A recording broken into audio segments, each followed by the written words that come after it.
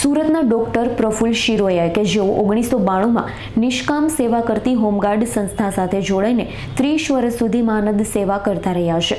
અગાઉ પણ બે વાર ડોક્ટર પ્રફુલ્લ શિરોયાને રાષ્ટ્રપતિ એવોર્ડ મળી ચૂક્યા છે. આ ઉપરાંત કમાન્ડન્ટ ડોક્ટર પ્રફુલ્લ શિરોયાનું છ ડિસેમ્બરે સોમવારના રોજ ગુજરાત હોમગાર્ડ વડી કચેરી ખાતે ગુજરાત સરકારના ગૃહપ્રધાન હર્ષભાઈ સંઘવી અને ગૃહ વિભાગના અધિક મુખ્ય સચિવ ડોક્ટર રાજીવ કુમાર ગુપ્તા, પોલીસ મહાનિર્દેશક Ashish Bhatia IPS R V Asari, commandant general home guard, IPS doctor Nirja Gotru વગેરે મહાનુભાવોની ઉપસ્થિતિમાં રાષ્ટ્રપતિ મેડલ અને સર્ટિફિકેટ એનાયત કરવામાં આવ્યા હતા. Bureau report, S nine news, Surat. સુરતના ડોક્ટર પ્રફુલ શિરોયા કે જેઓ ઓગણીસો બાણુંમાં નિષ્કામ સેવા કરતી હોમગાર્ડ સંસ્થા સાથે જોડાઈને ત્રીસ વર્ષ સુધી માનદ સેવા કરતા રહ્યા છે. અગાઉ પણ બે વાર ડોક્ટર પ્રફુલ શિરોયાને રાષ્ટ્રપતિ એવોર્ડ મળી ચૂક્યા છે.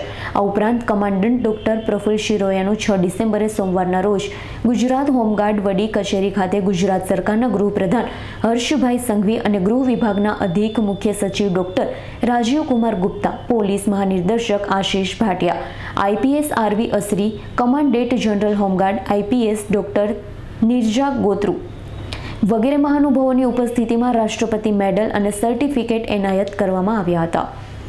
Bureau report S nine news Surat.